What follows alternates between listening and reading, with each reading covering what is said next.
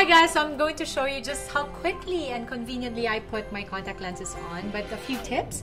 Before uh, you wear contact lenses on, you should always go to your eye care practitioner first to check kung anong mga contact lens ang pwede nyong suotin, kung anong klase, kung may grade ba kayo na kailangan sundin.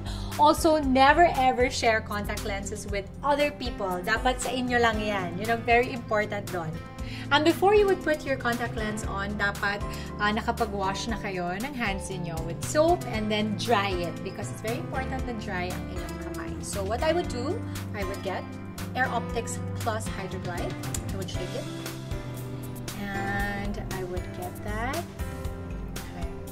I would open up my eye this way and also this way.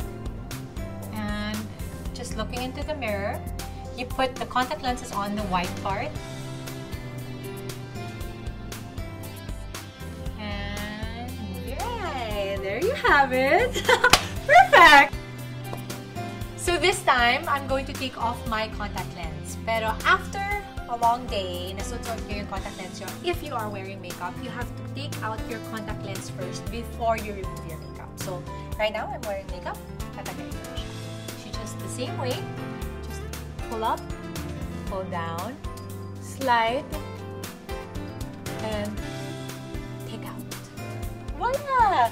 And if you are wearing um, for daily use, you should always throw it out and never ever put it back in your eye again. Okay?